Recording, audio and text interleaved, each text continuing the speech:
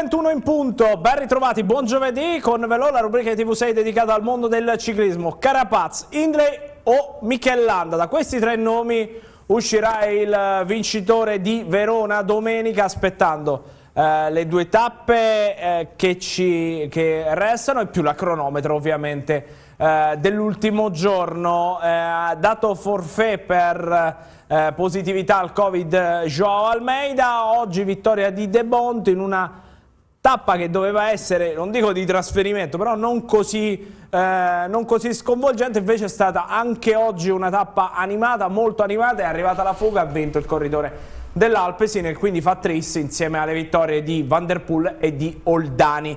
Eh, battendo in volata Edoardo Affini. Ne parleremo, ovviamente lo sguardo sarà rivolto sia all'indietro, al successo di Giulio Ciccone a Cogne di domenica sia a quelle eh, che verranno, alle salite che verranno che decideranno con ogni probabilità il giro numero 105 lo faremo con voi qualora lo vogliate al 392 623 7060 con gli ospiti tanti che si alterneranno questa sera. Grazie soprattutto a, alla preparazione della trasmissione per cui devo ringraziare come di consueto e passo. Mi sono fatto un autogancio un auto assist l'ideatore della trasmissione Luciano Robottini. Ciao Luciano, buon giovedì. Buonasera Jacopo e buonasera a tutti. Eh, buonasera a te, eh, ritrovo con piacere Ruggero Marzoli, ciao Ruggero. Buonasera a voi ragazzi. E poi in piattaforma Riccardo Magrini, ciao Riccardo.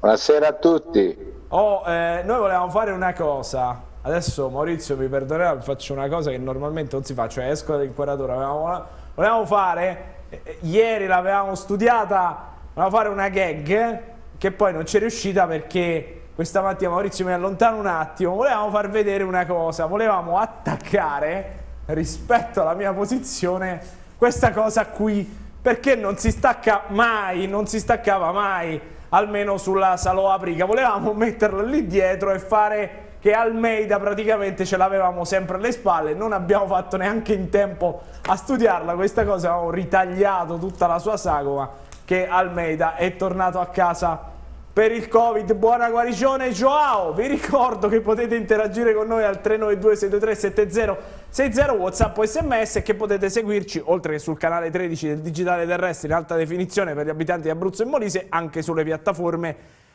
Facebook, sulla nostra pagina Facebook di TV6 e di, eh, e di Velo. Ci fa particolarmente dispiacere Luciano perché il tuo Joao purtroppo, però ieri l'avevamo visto un po' in difficoltà, poi oggi abbiamo capito perché. Eh, in difficoltà, in difficoltà se hai il Covid probabilmente anche lo covava da qualche giorno precedente alla giornata di oggi, quindi probabilmente le sue performance non erano quelle che avevamo visto eh, sul Blockhouse. Comunque mm e gli auguriamo veramente di riprendersi presto e lui sarà un corridore molto utile eh, per i grossi impegni della UAE nelle grandi corse a, a tappe con eh, Pogacar, quindi veramente un forte in bocca al lupo. Eh sì, anche perché l'altro giorno Riccardo insomma sembrava sempre sul punto di alzare bandiera bianca invece, invece ha tenuto duro, durissimo ma sai, questa cosa qua dispiace perché poi fondamentalmente, come ha detto bene eh, Luciano, è probabile che questa, su, queste sue prestazioni siano state segnate un po' anche dal Covid perché lui normalmente sul blockhouse era rimasto là davanti, sulle salite magari scatta scatta, però ci poteva stare. Quindi dispiace perché perdere un corridore così per, una, per un motivo eh, purtroppo che c'è, è un monito, credo che sia un monito dall'alto, che non bisogna mai abbassare la guardia in questo caso. Assolutamente. Spiazze, come direbbe un allenatore a cui sono particolarmente legato, però Maurizio mi ricorda, che saluto in regia, che questo è pur sempre l'anteprima, ci fermiamo per la pubblicità, non cambiate canale, tra poco ve lo numero 13.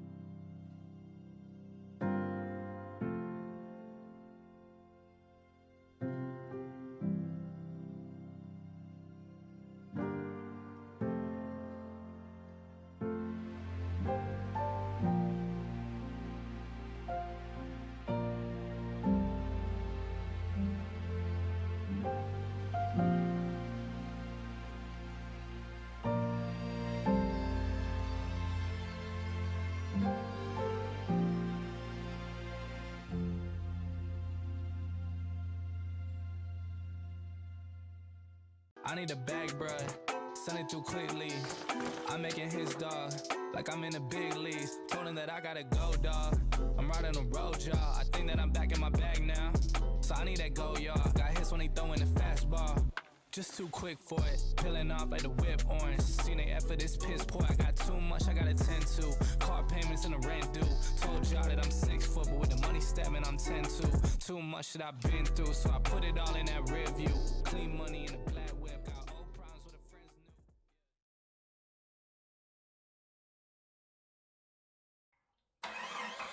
Da oggi Casa della Batteria la trovi in oltre 20 punti vendita in centro Italia con personale specializzato. Quando incontri il marchio Casa della Batteria, fermati con fiducia. Troverai una gamma completa di batterie per qualsiasi esigenza nei settori auto e moto, industriali e agricolo, automazione, emergenza e sicurezza, tempo libero. Visita il sito www.casadelabatteria.com. Scopri la filiale Casa della Batteria più vicina a te.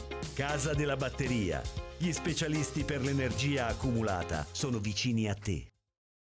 Gagliotti Ricambi Industriali. Per ogni esigenza di manutenzione e riparazione abbiamo la soluzione. L'azienda è specializzata nella fornitura e pronta consegna di un'infinita varietà di ricambi industriali di vario genere. È il partner ideale per soddisfare ogni esigenza di manutenzione e riparazione delle vostre industrie. Grazie alla pluriennale esperienza nel settore, offre esclusivamente prodotti di altissimo livello e qualità. Visitate il sito gagliottiricambi.com per saperne di più.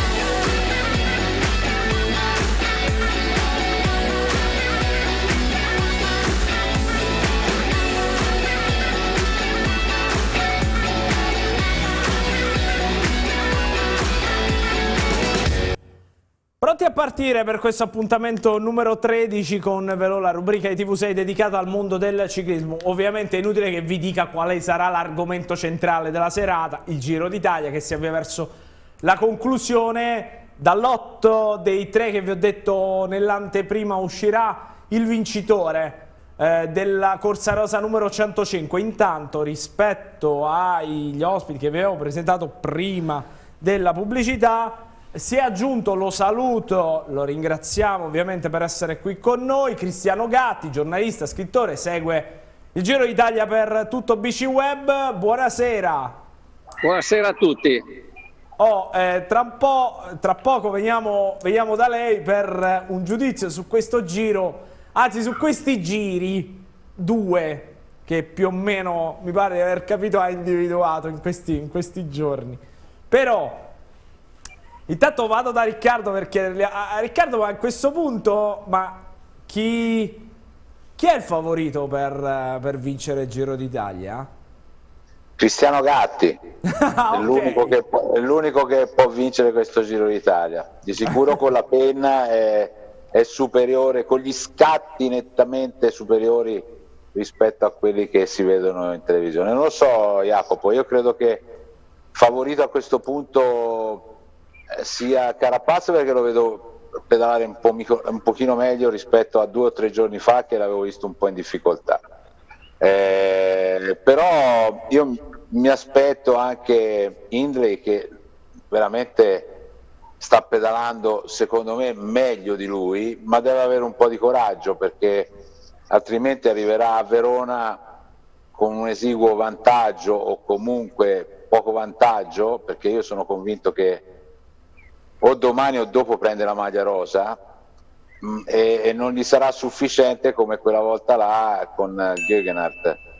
Landa eh, dice, dice, dice, però poi dopo telefona a casa, poi telefona a Pulse, eh, poi telefona a Bilbao, prima di fare uno scatto diventa improbabile. Tutti i landisti dicono ah Landa forte, vincerà sicuramente mi sembra un po' improbabile. Per me il favorito è solamente una questione di cronometro che è, è Carapaz, ma potrebbe anche eh, uscire fuori la sorpresa Indley perché poi tanto sorpresa non è perché è arrivato già secondo a un Giro d'Italia, ma a cronometro sinceramente penso che eh, anche la scena di oggi, dopo l'arrivo, quando Carapaz faceva il defaticamento sui rulli con la bicicletta da cronometro, è significativo, secondo me è una sfumatura che forse non tutti l'hanno colta, ma lui già prepara la, la cronometro e si abitua al bolide Pinarello che gli permetterà probabilmente di fare una prestazione superiore. Si equivalgono i, i due, non è che uno è, è più forte dell'altro.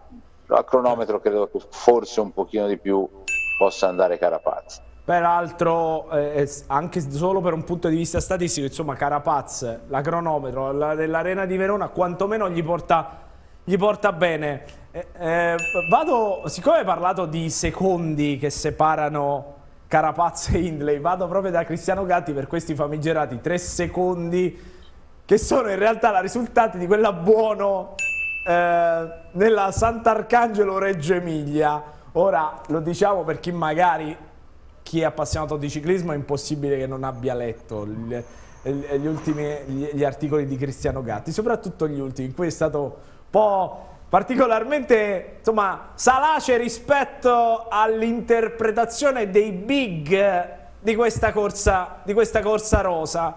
Eh, ha detto, insomma, diciamo che in questo Giro d'Italia non ci si stacca mai davanti, si stacca dietro. Scatti pochini, è anche vero che prossimo è molto forte.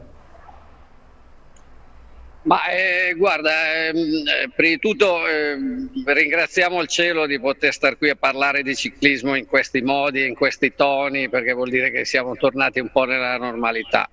Poi siccome a me piace esprimere l'opinione liber liberamente, dire quello che penso, qualche Giro d'Italia l'ho visto e di sicuro questo io non lo metterei tra i più belli che ho visto, lo metterei anche piuttosto in coda. tu gentilmente prima ricordavi, io ho parlato di due giri, eh, il giro de dei cacciatori di tappe secondo me è stato molto bello eh, va dato atto da, da, Van der Poel ma anche a tutti gli altri, per, per, fino ai quattro ragazzi che oggi hanno resistito così bene in una tappa di pianura, inseguiti dai velocisti, comunque sono stati i cacciatori di tappe questo giro particolare che non si cura della classifica, io poi ho parlato per estremizzare, per, per farmi capire, di, di, di, veramente di due sport eh, diversi. Sono comunque due giri diversi, perché chi pensa alla fuga di giornata, chi pensa alla vittoria di tappa, può anche muoversi o comunque ha una logica tutta diversa di chi eh, deve curare la classifica, lo capisce anche un bambino. Quello, torno a ripetere, a me ha soddisfatto pienamente, sono stati molto bravi, tutti i giorni hanno provato a fare le fughe, per cui nulla da dire.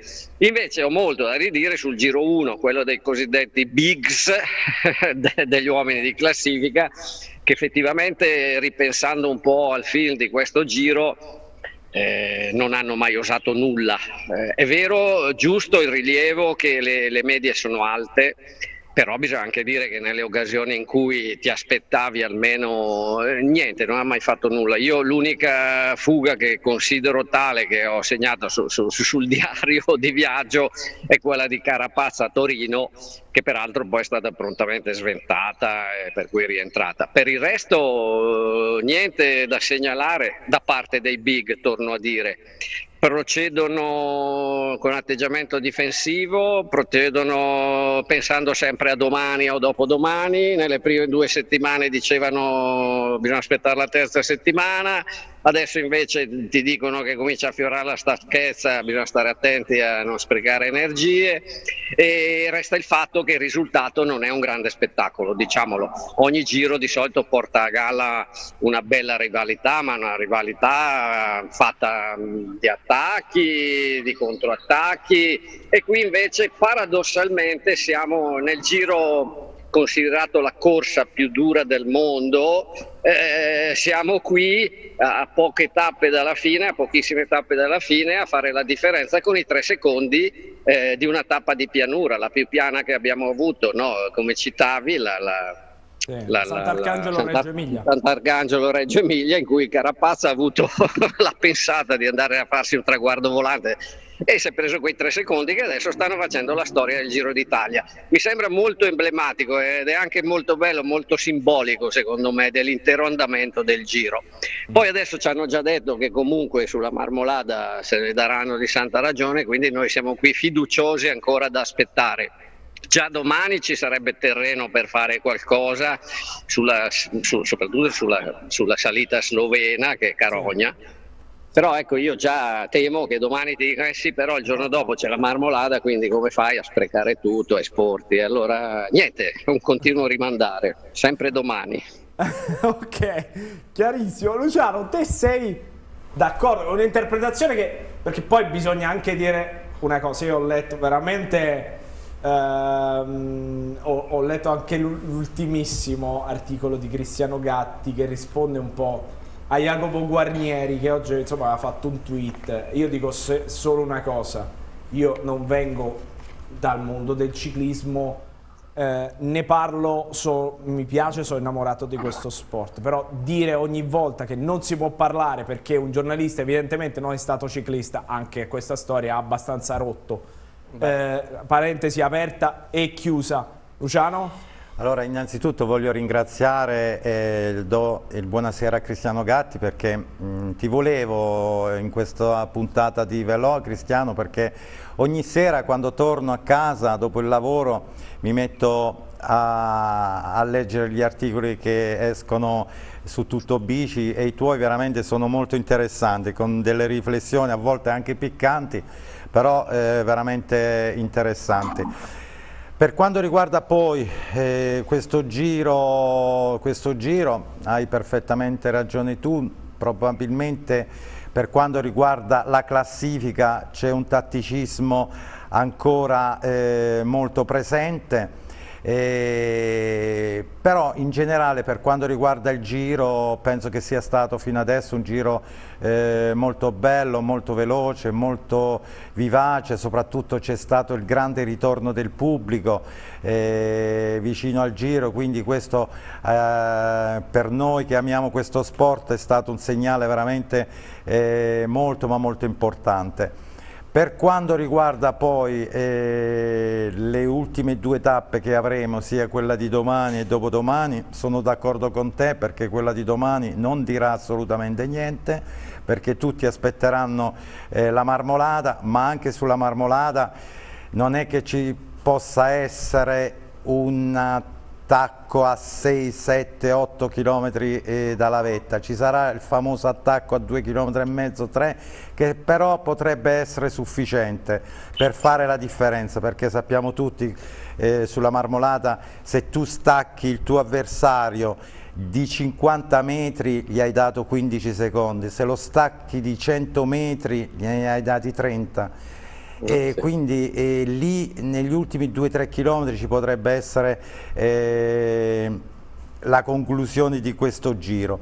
Sono convinto che il giro, non perché siamo affezionati ad Hindley per i suoi trascorsi in Abruzzo, ma io sono convinto per come lo abbiamo visto pedalare eh, in questi ultimi giorni, mi sembra che abbia qualcosa in più di Carapaz e poi qualcuno dice ma la cronometro eh, di Verona potrebbe mm. essere penalizzante per Hindley. Io ritengo che l'ultima cronometro, sappiamo tutti che eh, sull'ultima cronometro quando eh, viene, viene, fuori il corridore che ha qualcosa in più in questo momento. Mi sembra che Hindler rispetto a Carapaz abbia qualcosina in più, quindi mm. lo vedo per la vittoria finale eh, sul confronto di Carapaz un attimino avvantaggiato. avvantaggiato. Eh, io prima di andare da Ruggero volevo chiedere a Cristiano Gatti una curiosità perché a questo punto io eh, l'analisi giornalistica è, ci sta però volevo chiedergli se mi permetto di, darle, di, di darti del tu perché eh, non, non, riesco, a tenere, non riesco, a tenere, un'ora con il lei, eh, correrei a dimenticarlo. Eh, mi perdonerai. Eh, dove, secondo Cristiano Gatti, c'era la possibilità di rendere questo giro un po' più spettacolare e non è stato così? Guarda, ehm Finora le tappe più belle secondo me eh, sono state due tappe eh, nervose, non di montagna, che sono quelle di, di Napoli, dove abbiamo visto un, un, grande Van der Poel, abbiamo visto poi eh, il seguito e bla bla. E l'altra, quella di Torino, dove invece sono entrati in scena un po' diciamo eh, i favoriti. E, e, lì si è visto che volendo potevano anche un po' farsi del mare poi vabbè eh, il nostro Carapaz che, che, che, aveva tentato la stessa cosa se vi ricordate nella famosa fuga di, di Courmayeur nel giro del 2019 eh, dietro aveva Nibali e Rogris che lo inseguivano, che non trovavano un accordo, anzi si facevano i dispetti, lui ne approfittò, non lo ripresero più e, e si mise in tasca il giro. Ecco, eh, a Torino sembrava che fosse lo stesso film, no? lui aveva preso, se n'era andato, una cosa molto bella e lì davvero ha usato. Però lì forse è venuto fuori il, il, vero Carapaz, che non è lo stesso del 2019, perché dobbiamo anche dire che questo livellamento, almeno a mio giudizio, è un livellamento eh, un po' in un'aurea mediocrità, non è un livellamento in alto, cioè non è che i primi tre della classifica non riescono a farsi del male perché sono tutti e tre fortissimi. La mia opinione, e ribadisco, è una mia opinione che può essere stupida, ma è un'opinione spero rispettabile, la mia opinione è che loro tre si equivalgano un, a un livello non altissimo. Per cui è anche difficile pretendere che si diano sberle, si distacchino, si infligano eh, sonore. Li vedi sempre, li vedi sempre che si guardano che stanno lì anche quando mettono davanti la squadra. Landa è specialista, mette davanti la squadra, una squadra anche molto forte, bella da vedere, però nel momento in cui deve tirare in porta, no, diremmo, eh, non tira mai, al limite fa un allunghino che però non fa male a nessuno. Ecco, il terreno c'è stato, secondo me, eh, do, dove, c'erano, dove c'erano un po' di salite, c'è stato ieri per esempio eh, io ho scoperto, non l'avevo mai fatta, eh, questa, questa, questa, quest'ultima salita che arrivava a Lavarone, era una sita molto molto bella, carogna, stretta, con pendenze, eh, lì davvero uno che appena appena aveva qualcosa in più poteva lasciare il segno, far male. Invece si sono accontentati, avete visto, di marcar, marcarsi continuamente per cui ehm, qualcuno sostiene infatti che sia mancato il terreno, però secondo me se vogliamo parlare di terreno sono mancati i bravi contadini, nel senso che ehm, la tappa del blockhouse eh, ce, ce ne sono state, ma, come avete visto hanno pensato alla tappa del Mortirolo, ovviamente, il tappone dell'altro giorno, hanno pensato solo a giocare in difesa e sparare i palloni in tribuna. Il problema è che così si arriva a Verona e allora davvero diventa decisivo un cronometro di, di, di 17 km. E, e, posso dire che, che da tifoso, da appassionato, da amante del giro e del ciclismo, eh, io penso che noi tutti ci meritiamo di più e di meglio, per cui io veramente spero che almeno sulla Marmolada, anche a costo di rischiare di perdere il giro, però provino a rischiare di vincerselo come al modo dei campioni o comunque dei grandi corridori. Eh, oh, sottolineo, eh, magari queste cose poi sfuggono, ma eh, dei primi, dei big della classifica nessuno ha vinto una tappa, vabbè, tranne Hindley su Blockhouse che ha vinto in uno sprint. Questo la dice lunga perché in un grande giro di solito almeno una, due tappe il leader, il campione eh, impone eh, la differenza, lo vedi arrivare da solo con un, con un primario, ma, ma, la differenza con gli altri la fa. Qui nessuno mai, non c'è nessuno che, che, che vinca, che, che, provi. Certo. Eh, Ruggero, allora, ti sei fatto un po' un'idea? È colpa del terreno o dei contadini? Ah, vabbè. Riprendo la metafora. Innanzitutto ringrazio il signor Gatti di essere intervenuto in questa trasmissione perché comunque dà sicuramente un valore aggiunto.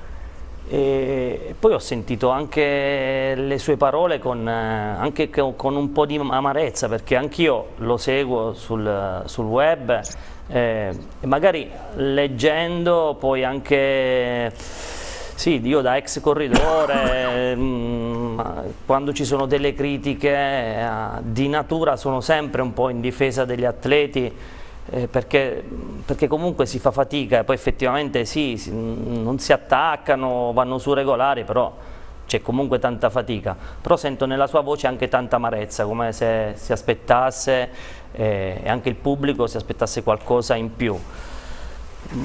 Io ripeto, a me, a me, piace, a me piace questo giro, ma da ex atleta eh, sono, sono, sempre un po' a favore delle, dei, dei, corridori. È un giro che, che sicuramente eh, per quanto riguarda i tre uomini più papabili della classifica si sono un attimino forse guardati più del dovuto.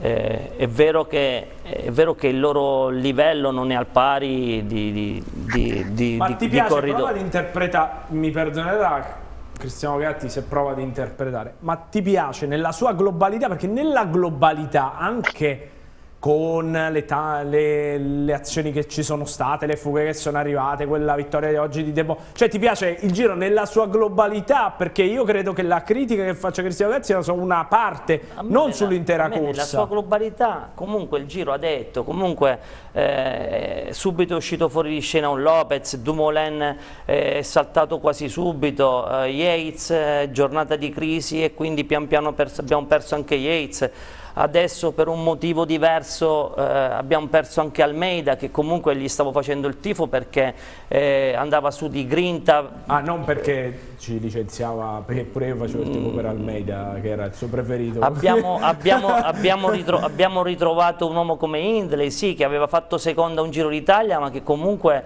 ormai avevamo forse anche dimenticato e, e, a vederlo è bello, pedala bene e secondo me, sono d'accordo con Luciano, eh, potrebbe, potrebbe, vincere veramente il giro.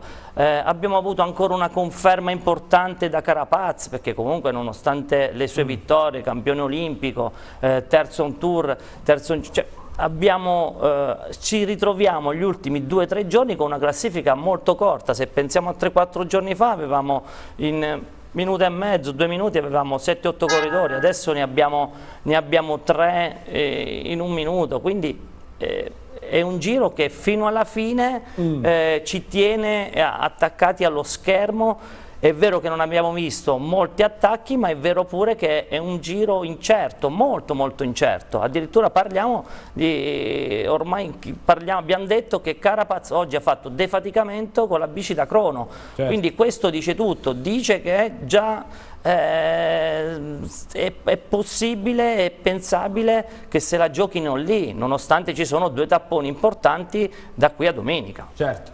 Oh, Riccardo, ci hanno scritto il lato positivo è che se ci fosse stato Pogacar non staremmo neanche più parlando, cioè già staremo pensando, faremo i bilanci di come sono andati tutti quelli dietro Pogacar. Ma allora io sono d'accordo con Cristiano sui due giri perché effettivamente eh, ti posso dire che la tappa più deludente per, per noi che la raccontiamo tutti i giorni su Eurosport è stato il tappone della Prica, perché alla Prica, la Prica si meritava, visto anche le salite che c'erano, si meritava un vincitore, non che sia, per carità, tutto rispetto di Irte, però a 31 anni non ha mai vinto corse importanti, la prima corsa che vince, secondo era Aresman, io come Luca e come anche Belù che era con me, insomma Vladimir Belli, ci aspettavamo qualcosa come diceva Cristiano, cioè fammi uno scatto, perlomeno fammi uno scatto.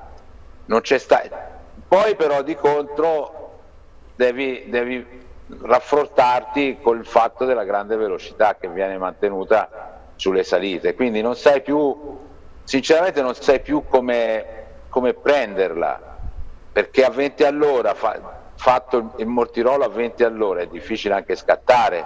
Certo. Eh, il, problema, il, problema, è anche quello lì, eh, fanno queste grandi, grandi, medie, grandi velocità, è difficile, anche, è difficile anche scattarsi in faccia. Però io sono d'accordo perché un campione, bene o male, piuttosto rischia di perdere, ma almeno una botta la dà. Cioè Landa, te l'ho detto prima, fa tre telefonate, una telefona a Bilbao, poi telefona a casa per il posso eh, quell'altro telefona... Fax niente? Com'è? Ah no, fax sì, no, beh, c'ha la telescrivente. Cioè voglio dire, non ha... non- tutte le volte che parte fa un allunghino e si gira e si volta. Mi sembra, mi sembra Lopez, eh, il Michelangelo, quello, il pittore, no? Quindi ehm, Carapaz c'ha la, la maglia che dice che attacco con la maglia, però non stava bene Carapaz. Loro non hanno approfittato di due tappe secondo me fondamentali. Quella di Cogne che eh, poi anche lì, dici te, ha vinto Giulio, tutti contenti, stracontenti, ma una palla mortale perché questo è partito a, a 20 km dall'arrivo e non sapevi più che cosa dire con una fuga del resto, con tutto quello che vuoi. Cioè, eh, se vogliamo andare a guardare lo spettacolo, ci sono state alcune tappe belle, spettacolari. Guarda che quella di oggi, secondo me, è stata spettacolare perché non sapevi fino da ultimo se li riprendevano, se non li riprendevano, erano tutti lì, eh, menavano come dei fabbri, dietro avevano le facce che sembrava che morissero da un momento all'altro e davanti pedalavano con grande facilità, però fino da ultimo non sapevi se riprendevano o no, è stato nel- nella sua semplicità di tappa, è una tappa, era una tappa Anche quella di eh, Iesi. lo stesso, ma allora mi viene il dubbio, ma che vale la pena fare tutte quelle salite, salitoni, che, che poi non succede niente? Perché se vai a guardare la tappa di Napoli su un circuito bellissimo è venuto fuori un- uno sparpa, cioè un- una bella tappa. Eh, la tappa di, di- di Torino che era dura mh, veramente mass- massacrante, ma non c'erano le montagne, c'erano No. due, due salite da affrontare, Superga e eh, la Maddalena, l'inferno come lo chiamavano, con un'altra salitella, è venuto fuori una tappa meravigliosa, grazie anche al lavoro della, della, eh, Bora, ma anche lì ha ragione Cristiano, è partito Carapaz, magari anche forse sbagliando, però l'ha tentata almeno. Cioè, eh, c'è stato Vincenzo Nibali che ha risposto, Indre che insomma, c'è stato un po' di movimento. Allora mi chiedo io e vi chiedo a voi, ma vale la pena fare tutte le volte tutte queste salite, montagne, per poi dopo avere questo risultato che poi non- hanno tutti paura di fare uno- una pedalata in più? Oh, peraltro mi togli, mi, mi fai un assist perché vediamo l'altimetria di domani. Si sconfina in territorio sloveno, c'è questo Kolovrat che però eh, è a 40 km dal traguardo. È una salita, poi vedremo anche nel particolare. Ehm, anche lì, Luciano, penso che, che cosa pensi? È una salita al 10% Sì. questa, per 10 km, quindi è dura, però eh, a 40 km dall'arrivo, sempre per quei famosi tre personaggi che si contenderanno il giro, non penso che ci sia Eh. una grande battaglia. E io ritengo, come ho detto prima, che la battaglia verrà sopra la marmolata, e- però eh, io voglio pensare che Carapaz ha grossi problemi in questo momento, sia lui che la squadra, perché Carapaz in questo Giro d'Italia poteva vincerlo, però poteva vincerlo sul blockhouse, poteva vincerlo nella tappa appunto di Torino, eppure ci ha provato e, e ha rimbalzato, quindi i piani tattici di questa squadra eh, sono un po' preoccupati per questo finale di Giro d'Italia perché effettivamente eh, però noi l'avevamo già detto all'inizio del giro, eh, perlomeno io l'avevo accennato che la Ineos veniva al giro con Carapaz, però Carapaz a me non mi dava quelle grosse garanzie perché, perché sì aveva vinto un giro, però sia il giro che le Olimpiadi vi avevo detto era stato un corridore che aveva utilizzato molta abilità eh, e intelligenza tattica. Invece adesso, ritrovandosi leader di questa grande squadra, eh, deve dimostrare di essere un campione e, e ad oggi non l'ha dimostrato, quindi eh, lui deve ringraziare soprattutto Ricci Port che ha- sul blockhouse ha, ha fatto una grande, grande salita, secondo me sarà il protagonista anche della tappa eh, della Marmolada. Con la speranza che vada anche un po' più piano di, di come è andato Ricciporto perché altrimenti rischia di staccare anche eh, Carapaz. Quindi, eh, quindi, va gestito un po' come anni fa ti ricordi Froome che staccò Wiggins a un Tour de France dovette e fermare quindi anch'io per quanto riguarda sia la tappa di domani non vedo che ci possa essere eh, una grande battaglia eh, noi ci auguriamo che però, eh, sono convinto che sulla Marmolada a 3-4 km dalla vetta eh Hindley o Carapaz o Landa faranno di tutto per eh, darsi battaglia, cercare di arrivare sulla Marmolada con qualche secondo pesante, affrontare anche eh, l'ultima cronometro eh, con un po' di tranquillità. Eh, anche se, come ripeto, a cronometro sui tre eh, vincerà chi è più fresco. In questo mom momento mi sembra, mi sembra, che il più fresco dei tre sia il giovane Hindley e, e me lo auguro perché eh, potrebbe essere una dolce sorpresa per quello che avevamo visto da questo corridore due stagioni fa, l'anno scorso l'avevamo quasi dimenticato, eh, però è un corridore di grandissima qualità e soprattutto di grande intelligenza eh, tattica. Probabilmente pilotato bene dall'ammiraglia perché anche ieri nella volata perché eh, nella volata di ieri Carapaz è riuscito a batterlo Hindley però io sono anche convinto che qualcuno gli abbia consigliato di stargli a ruota di non eh, eh, e tenerlo ancora lì in testa alla classifica e poi la Ineos nel complesso di questo Giro d'Italia è stata anche molto ma molto fortunata perché ha avuto la, la, la possibilità di far controllare la, la, corsa a una grande squadra come la Trek che, sì. che, che, che gli ha dato una grossa giorni. mano, quindi eh, se, se, noi provassimo a, a pensare eh, che Carapaz sul blockhouse avesse preso eh, la maglia rosa mm. sarebbe stato molto ma molto complicato, quindi sì. eh, ci apprestiamo a vivere queste belle due tappe mh, mm, con la speranza di che quello che ci ha detto appunto Cristiano Gatti possa essere smentito dai fatti dei corridori. Oh, siccome tra un po' lo, lo salutiamo e lo ringraziamo per essere stato con noi, anche perché insomma domani è altro giorno, altro giorno di, di tappa e sarà una, uh, una, giornata intensa. Io a proposito del successo di Giulio Ciccone, Cristiano Gatti ha scritto sì. anche del nostro Giulio, poi tra poco facciamo vedere anche l'articolo che è uscito, se non erro, lunedì, eh, che prendeva le mosse dal successo a Cogne e dalle, del, diciamo dall'intervista successiva eh, al, nostro, al, nostro, Giulio. Eh, ci sono due cicconi o è solo uno?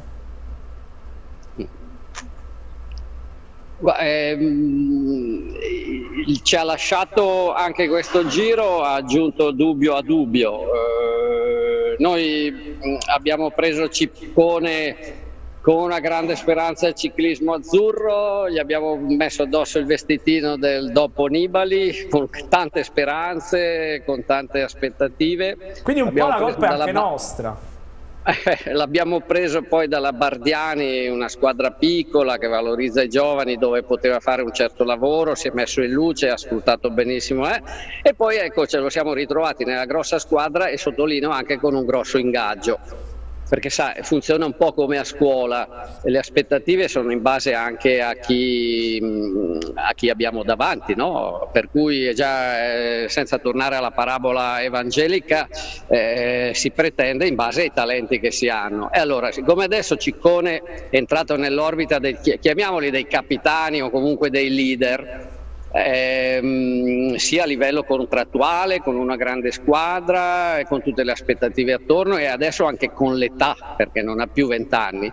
È chiaro che noi adesso da lui ci aspettiamo eh, di più, ci aspettiamo soprattutto di capire eh, quale ciccone è, se è quello che da ragazzo mh, con una certa libertà si è inventato cose belle e, o se invece è anche uno capace di reggere il peso di una leadership, come si dice, con tutte le, le, le pressioni, gli obblighi di, di un capitano.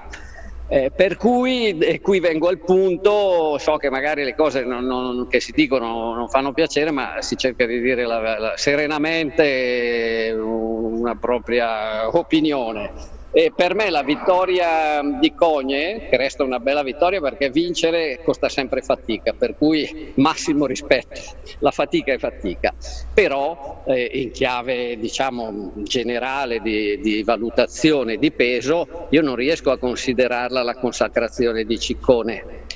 non è questa la consacrazione di Ciccone. Ciccone si consacrerà quando eh, farà queste tappe eh, come uomo da classifica, quando staccherà gli avversari diretti, quando lotterà per la maglia rosa. Eh, lo sappiamo tutti, non è il primo, tanti corridori sono usciti di classifica eh, arrivando a mezz'ora, un'ora e poi magari si inventavano una gran bella tappa e una gran bella vittoria. Ma sono, torno alla teoria dei due giri, tu lasci il giro dei big, il giro dell'alta classifica, il giro della lotta per la maglia rosa e entri nel giro dei cacciatori di tappa tappe, ma sono due sport diversi. Ecco, venendo al punto, perché non la voglio fare lunga per non stufare, eh, Ciccone non ci ha ancora detto in quale dei due giri eh, vuole essere qualcuno. Il sospetto che ci viene da questo giro, ancora una volta deludente, è che non sia pronto per essere un leader da, da, da, da giro 1. Mm. Eh, io volevo aggiungere anche una considerazione. Hai perfettamente ragione, anche in considerazione del fatto che però, c'è un però, questo è un ragazzo che 3-4 stagioni fa aveva dimostrato di avere anche eh, qualità, di essere un grande talento e probabilmente lo è ancora Cristiano. Eh? Però poi arrivi in una grande squadra dove ti si trasforma tutto, programmazione, dietologi, biomeccanici e io penso che poi alla fine tutto questo lavoro interno di programmazione ci possa anche essere degli errori non dovuti solo dall'atleta. Io mi auguro, io mi auguro che dopo alla conclusione di questo Giro d'Italia ci si possa incontrare tutti con la proprietà, i corridori, il dottore e tutte queste figure nuove che obiettivamente nel nostro ciclismo non esistevano. E ognuno si deve prendere pure questa responsabilità verso quest'atleta perché a volte non è solo colpa dell'atleta Cristiano perché possibile che ci sono anche altri componenti vicino all'atleta. No, sì, che... sicuro, sicuro, scusa Lucia, l'unica cosa è ecco, che lui secondo me si è posto male da questo punto di vista, perché dopo la vittoria cominciare subito con la tiritera, ah, tutti sì, mi sì. vogliono male, questa è la rivincita contro le cattiverie lui non deve considerare cattiveria, forse c'è qualcuno cattivo in giro che lui conosce, quindi io rispetto la, la, sua posizione, però non può scambiare la critica doverosa, il rilievo doveroso per cattiveria e quindi assumere questo atteggiamento di rivalsa un po' astioso. Secondo me fa solo male suo, poi il ragazzo è grande abbastanza e decide come vuole, se vuole fare la guerra al mondo è liberissimo, ma ci mancherebbe, io rispetto, eh, soltanto che secondo me mm, è, è l'atteggiamento sbagliato ed è il momento sbagliato ecco, per tirare fuori tutta questa credine.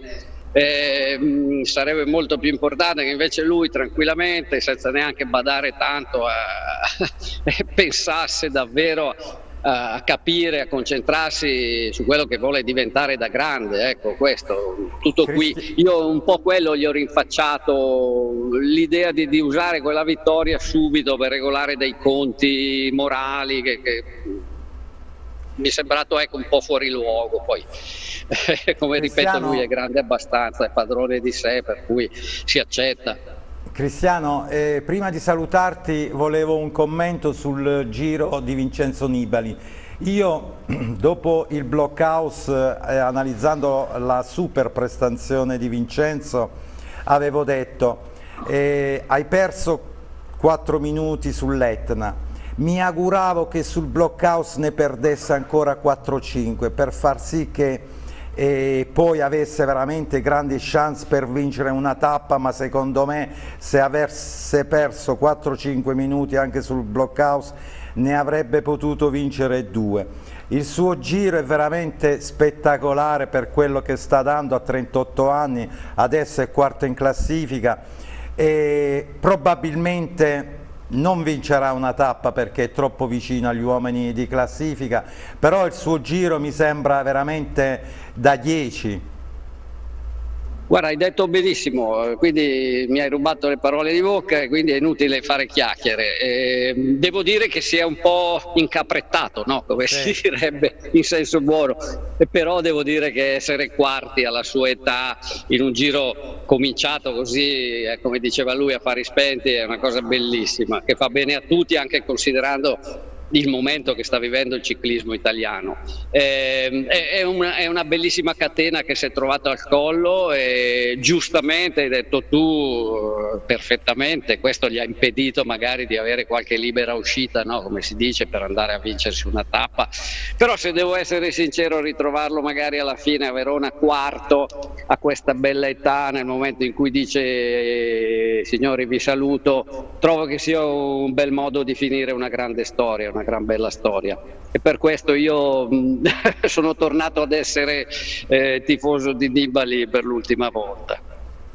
Grazie a Cristiano Gatti, grazie per essere stato con noi, ovviamente buon finale di Giro d'Italia. Un saluto a tutti. Salutare, saluto a tutti. Sì, sì, scusami Riccardo. Eh.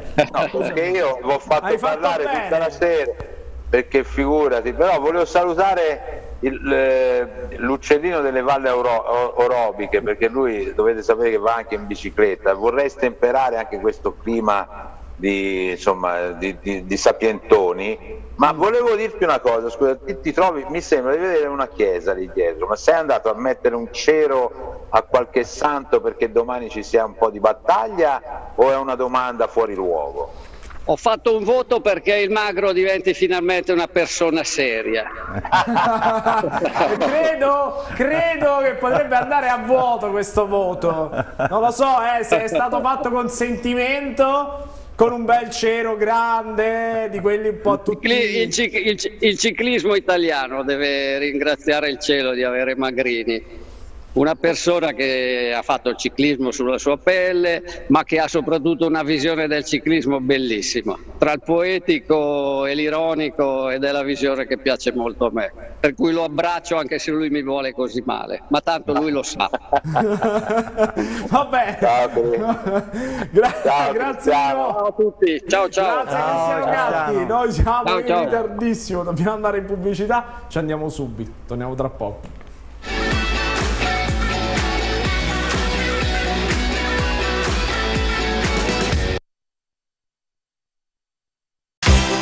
25 anni di attività agonistica, 30 anni di attività commerciale per continuare a darvi Rabottini Cicli Sport, bici da corsa, mountain bike, gravel e tutta la linea e-bike. Rivenditore ufficiale Scott, Bergamont e BH. Abbigliamento tecnico, scarpe, occhiali, ciclocomputer, cardiofrequenzimetri delle migliori marche e assistenza meccanica qualificata. Se vivi di passione, se pedalare è ciò che ami, allora ti aspettiamo a Marina di Città Sant'Angelo, Viale Matrino 31. Resta aggiornato su tutte le novità e seguici sui nostri canali social Facebook e Instagram. Farmacia Ferroni a Montesilvano. Salute, benessere, bellezza e prevenzione da oltre vent'anni al tuo servizio.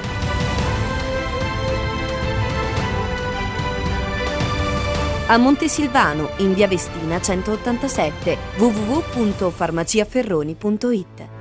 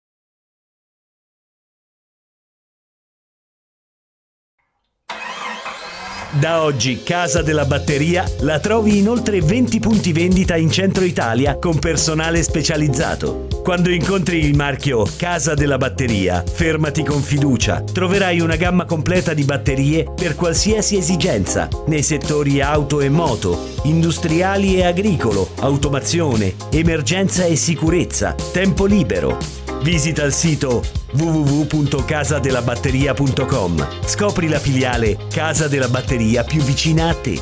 Casa della Batteria. Gli specialisti per l'energia accumulata sono vicini a te. Clindex è una realtà italiana che progetta e realizza attrezzature professionali per levigare e lucidare pavimenti. La bontà dei suoi prodotti l'ha resa famosa in tutto il mondo. Le levigatrici Clindex sono adatte a levigare marmo, granito, gress, parquet e qualsiasi superficie grazie agli speciali utensili anch'essi realizzati da Clindex. Il Super Concrete, ovvero un sistema di lucidatura a specchio del cemento che ha creato una nuova concezione di pavimento industriale. Clindex è anche formazione, merito dei corsi gratuiti aperti a tutti. Clindex è a Manoppello, via Vallone 16.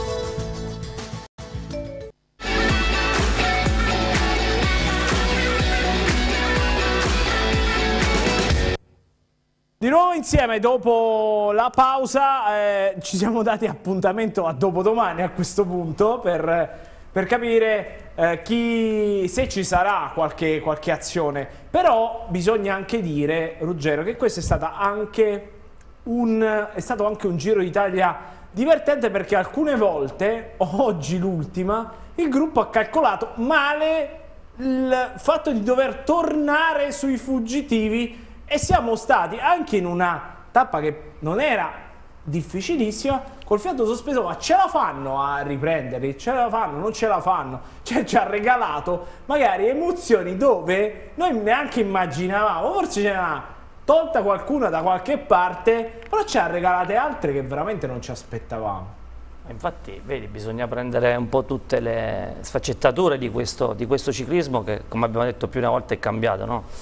eh, quindi è anche bello vedere, studiare quello che accadono, le situazioni che accadono anche in, in tappe particolari che magari all'inizio potevano sembrare normali, arrivo, un semplice arrivo in volata, eh, in realtà oggi l'hanno studiata bene, i ragazzi che erano davanti eh, avevano preso un paio di minuti, il gruppo li teneva lì, era ormai un finale già scritto e invece, invece no. sono stati bravi a risparmiare qualcosina davanti per poi dare tutto sullo strappo eh, e quindi dietro chi inseguiva eh, ha, avuto, ha, avuto, parecchie parecchie difficoltà e, e, per poco non sono stati ripresi e giustamente eh, chi, chi ha tratto vantaggio sono stati coraggiosi che hanno intrapreso questo cammino bello e se la sono giocati. Oh Riccardo, come dicevo prima, non è la prima volta che accade, ma secondo te in una tappa come quella di oggi probabilmente a un certo punto,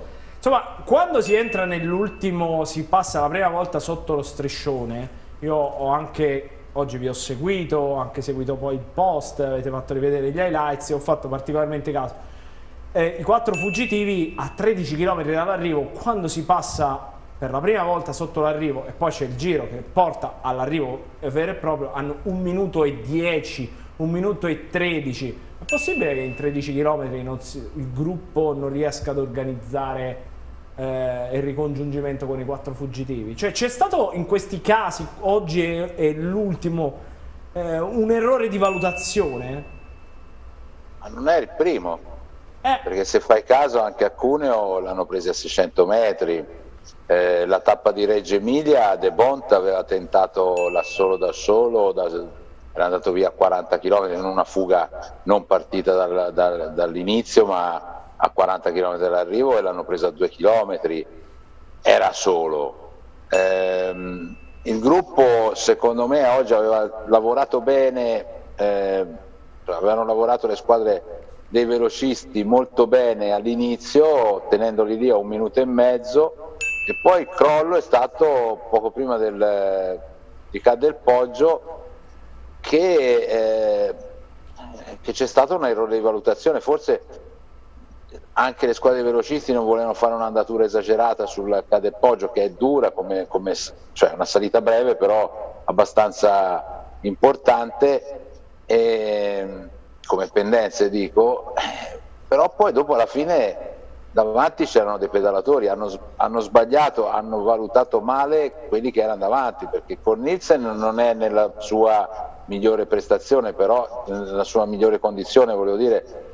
Però è un signor corridore, l'anno scorso ha fatto fuoco e fiamme vincendo tappe esagerate in, in maniera garibaldina, lo stesso Affini è un corridore che va forte a, cronome, a cronometro, eh, insomma noi abbiamo Ganna, poi c'è subito lui, eh, Gaburo ha fatto una prestazione eccellente e De Bont è un altro che aveva già dimostrato di andare forte, quindi secondo me l'errore di valutazione è stata quella, non si sono messi, cioè non, non, hanno pensato di tenere quel vantaggio perché poi a un certo punto sono andate anche quasi vicino a, a 3 minuti, a 2,50 e un finale così eh, lo hanno pagato anche nello sforzo perché non ci dimentichiamo che questo Giro d'Italia che per alcuni versi ho detto sono d'accordo con Cristiano ma eh, è anche bello e entusiasmante per le tappe lasciamo stare il discorso della classifica che mi, mi trovo pienamente d'accordo sui tre che dovrebbero, quattro che dovrebbero essere quelli che eh, lottano per la vittoria finale però le tappe, le tappe sono state belle eh, anche impreviste perché sono andati esagerati. La, la, tappa di Cuneo hanno fatto un'ora e mezzo, 56 di media eh, dopo il colle di Nava, andavano a 65-70 all'ora, davanti oggi uguale, hanno fatto una media stratosferica, prima, sono arrivati molto prima del, del, del, del tempo previsto.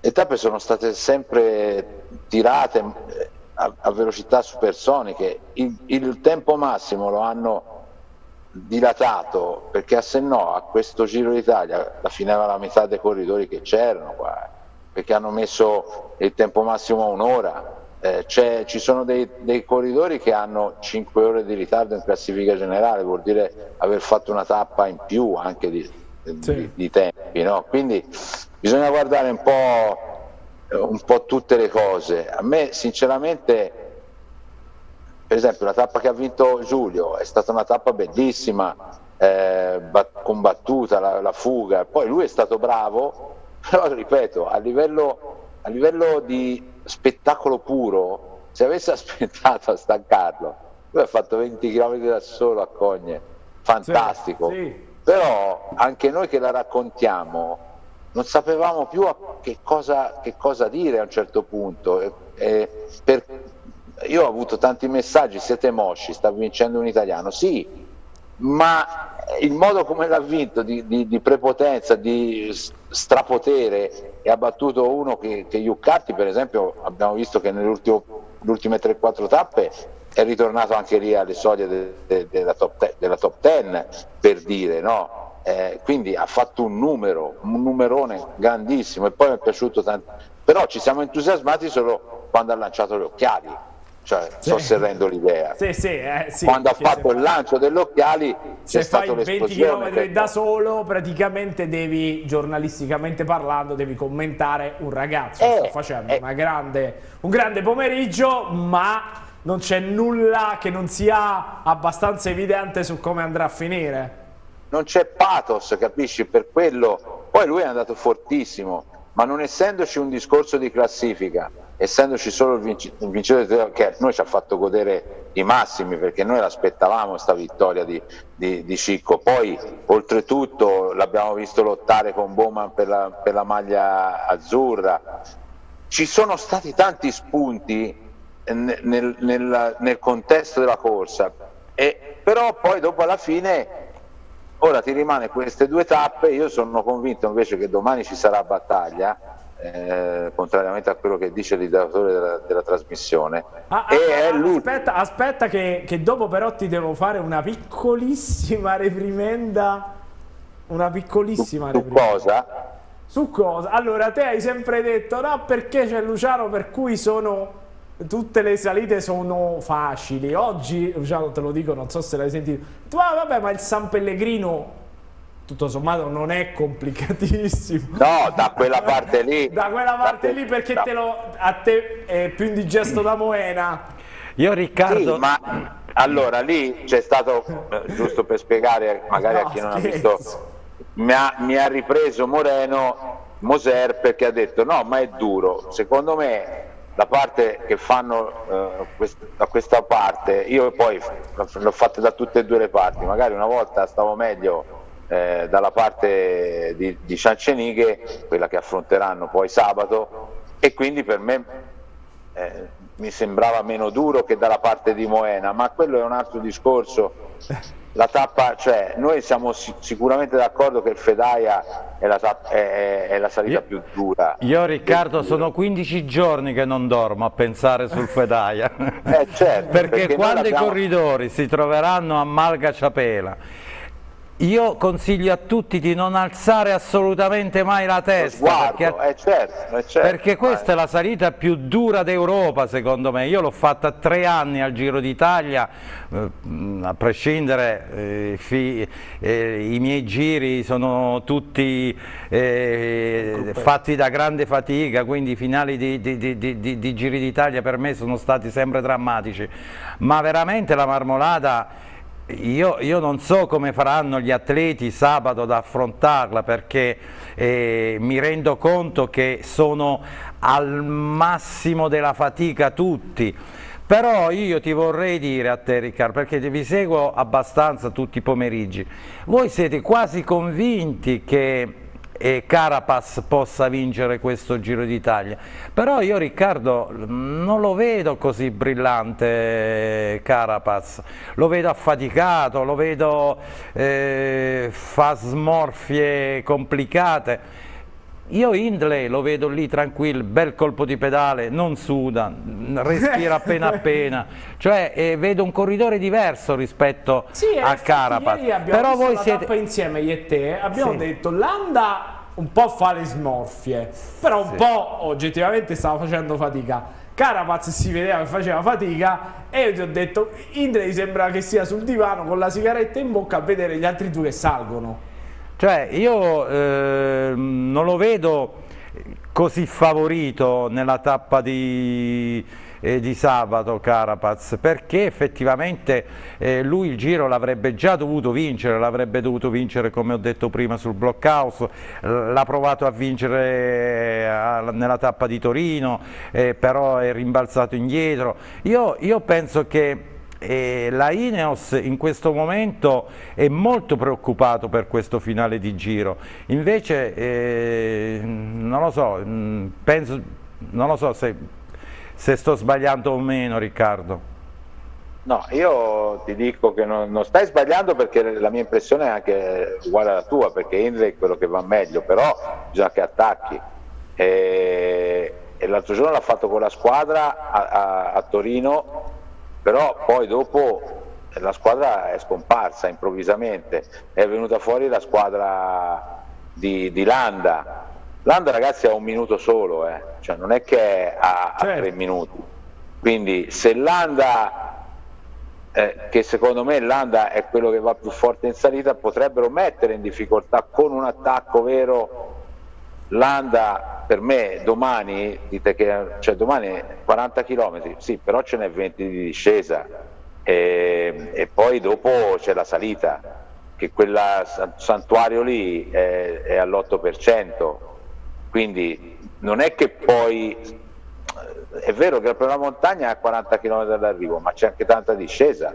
Se uno su quella salita lì ci fa veramente conto, perché quella lì è una salita dura, io lo so perché me l'hanno detto, è una salita dura, se sì, ci sì, fosse qualcosa veramente eh, te, la faccio gambe... vedere, eh, te la faccio vedere proprio nel dettaglio perché diciamo che è divisa in due parti la salita, questo Kolovrat che ovviamente essendo in territorio sloveno conosciamo molto relativamente, sono in due parti, c'è una parte centrale in cui spiana e poi però insomma è, è sono 10 eh, km è, una salita, è una salita che spiana e, non, e nonostante Spiani al 9% di pendenza media, ci, secondo me è un 10% tutto questa, questa sera. E, e, se ci fosse la volontà da parte la, la voglia, la gamba soprattutto, qui questo Giro d'Italia secondo me lo vince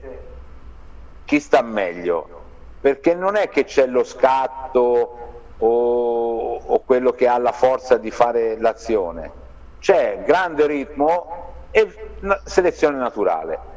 E qui c'è da vedere che magari, come dici te, Carapaz non cara, Carapaz, Carapaz, perché se no mi sembri belli eh, anche te e tutte le volte ti si dice Carapaz, non è cara, cara, cara, come lo dici te, Carapaz, è come Pogacar, non è Pogacar, è Pogacar, eh, eh, tanto per. Però, Tanto si stacca lo stesso, si Riccardo, uguale. si stacca uguale, non ti preoccupare, va tranquillo. no, ma ca Carapaz... Sia l'uno che l'altro si staccano, vai tranquillo. Sì, ma io ti vedo anche un po' tifoso e ti capisco, ma Indley, Indley il problema di Indley è la cronometro e se non lo stacca bene, a cronometro ci perde. Capisci qual è quello il problema? Indley domani dovrebbe fare un'azione e aspe non aspettare il Fedaia. Domani c'è la squadra ancora intatta con Kelder, ma che non mi sembra più neanche tanto a posto, Bookman, eh, eh, eh, Kemna. Questi qui dovrebbero menare come ha fatto a Torino su quella salita lì e lo mettono in difficoltà perché gli levano tutta la potenzialità che ha Carapaz in questi giorni. Perché Carapaz ha addormentato la corsa in questi giorni con la squadra. E sai perché? Perché aveva paura di Almeida perché il problema della Ineos era quello di Almeida, perché avevano tutti paura che non si staccasse a sufficienza, perché per poi, poi Almeida gli dava una, ciabatt una, ciabattata a tutti alla cronometro. Certo. Il problema di questi corridori, secondo me, è che si sono focalizzati sulla cronometro, essendoci pochi eh, c'è poco divario, allora hanno tutti paura a fare l'azione per questo non c'è lo spettacolo, come diceva appunto Cristiano Gatti, per quelli di classifica. È solo per questo, per questo motivo, ma te lo do per certo che Ineos aveva paura di, di Almeida, visto come era tutto contento oggi, non c'è più Almeida e stiamo tutti tranquilli. Il problema è che però non sa che quella salita lì almeno penso, lo sapranno sicuro perché Tosatto non è uno stupido, è un ottimo direttore sportivo e preparano bene le corse, ma come hai detto te, io l'ho visto, non l'ho visto in questi ultimi due giorni no, ma prima sì, è lui vero. era in difficoltà. Sai che quando l'hai detto Riccardo io ho avuto la stessa sensazione, quando eh. tu l'hai detto in, in telecronaca oggi l'ultima volta, io ho avuto la stessa identica sensazione che Carapaz sia particolarmente contento perché non ha pagato dazio anche perché probabilmente nessuno si è accorto del fatto che non fosse il Carapaz pimpante che ci si aspettava. Bravo. e lui sia nel, nel, silenzio sia riuscito a far passare, a far passare la, eh, la, la Buriana. Peraltro vi faccio vedere una foto perché tra poco avremo un ospite insieme a noi a proposito di Bahrain Victorious, chi la conosce? Bene ovviamente è Jan Tratnik che non è più al giro, però sicuramente il Kolovrat lo conoscerà molto molto bene, ha fatto un post poco fa e probabilmente qualche suggerimento su come, eh, su come affrontare questa salita ai suoi compagni di squadra lo darà soprattutto ovviamente a Michelanda. Intanto diamo la buona serata, il benvenuto seppur in piattaforma a, a, nella nostra trasmissione gli chiedo di ruotare il device in maniera orizzontale così lo vediamo proprio perfettamente. Ah, eh, eh, Jacopo, il device non, non, lo capisce, il ah, telefono. Non capi il telefono. Il telefono lo deve mettere. Eh sì, no, però vedi che ha capito perché ce l'ha fatta. Buonasera al direttore Stefano Allocchio, buonasera direttore. Buonasera, ma digli a quel, quel personaggio che c'hai di fianco che so più di lui. Ah, vabbè, cominciamo subito la polemica qua. Ciao Stefano! Poco fa ci è arrivato Ciao. un messaggio che ci, ci, pregavano, Riccardo ti prego non diventare una persona seria, noi possiamo rispondere al nostro telespettatore da casa che questo rischio credo non ci sia. Direttore, allora, allora, allora siamo a pochi giorni da Verona, noi abbiamo fatto un po' una disamina di quello che è stato, soprattutto in alto in classifica, questo Giro d'Italia, abbiamo detto probabilmente le emozioni che ci aspettavano dai big ce l'hanno regalati altri corridori con altre azioni in modo differente. L'ultima questo pomeriggio non è, non è la prima volta che capita che il gruppo non riesca a capire bene quando rientrare sui fuggitivi. Abbiamo avuto un Van Der Poel, abbiamo avuto Ghirmai, la sorpresa Ghirmai, delle tappe particolarmente interessanti, frizzanti, cioè le emozioni ci sono state dove probabilmente non ci aspettavamo. No, ma in effetti io non capisco certe persone che dicono che non è stato un giro eh, entusiasmante. Eh, per noi è, è, molto entusiasmante, anche perché mancano due, due tappe, tre tappe alla fine e tra il primo e il secondo ci sono tre, tre secondi. Eh, ultimamente al giro si decide sempre l'ultima tappa cronometro, quindi anche quest'anno siamo in linea con gli altri anni. Mm. Quindi insomma eh, diciamo che non, eh, non c'è particolare differenza rispetto agli ultimi anni, probabilmente però direttore forse qualcuno si aspettava, lo dico eh, perché gli appassionati di ciclismo si aspettava magari qualche scatto da, non dico dalla maglia rosa, però magari chi avesse voluto attaccarla, eh, Ma, Landa, un... No, guarda, eh, eh No, eh, non sembra, ma gli scatti ci sono stati. Però il fatto è che è un giro veramente duro, è, è un giro dove le forze si devono centellinare e, e anche i corridori di alta classifica eh, fanno, fanno, fatica e quindi anche per loro devono cercare di eh, come, come, si può dire, di, di, di, appunto come ho detto prima, di centellinare le forze e, e, e secondo me eh, anche ieri si è visto, i migliori sono sempre, sono sempre lì, lì, davanti e, centellinare e, e cercare di...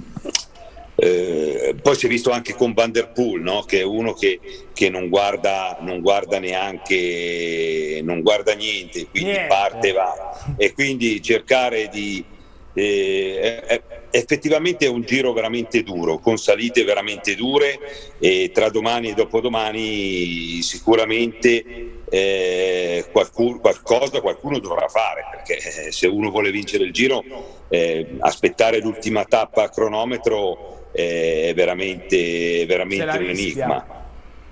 Esatto. Stefano, bu buonasera, Innanzi eh, sono Luciano Rabottini. Ciao, ciao Luciano. Ti ringrazio innanzitutto per la... un nostro compagno di gruppetto, eh, lui, sì. perché qua si parla, ma cioè, qui Beh, cioè, ma gruppetti... Noi, ma, noi, eh. ma, noi, parlare di quelli che sono davanti è difficile, Riccardo. Eh. Ascolta Stefano, nella presentazione del giro, alla vigilia di questo giro, c'era chi criticava l'assenza eh, di Pogacar, di Roglic, eh, io ho detto, guarda, fortunatamente non ci sono questi personaggi perché probabilmente eh, ci sarebbe stata una corsa molto ma molto diversa da quella che c'è stata. Se oggi eh, siamo a tre giorni dalla fine e non sappiamo nemmeno chi potrà vincerlo questo Giro d'Italia, questo sta a dimostrare che la partita era aperta, era aperta a tante persone qualcuno sono andate a casa, però io ritengo che questo giro effettivamente ha dato emozioni e soprattutto eh, ci si appresta a questi ultimi tre giorni con grande entusiasmo, quindi io ritengo che il giro è piaciuto, sta piacendo, complimenti anche a questa edizione di questo giro perché è stato un giro particolarmente duro. Oggi ho sentito che ci è mancato qualche chilometro a cronometro per far sì che la distanza alla vigilia di queste tre tappe fosse un attimino eh, più abbondante, però eh, ritengo che eh, ad oggi è stato un giro veramente...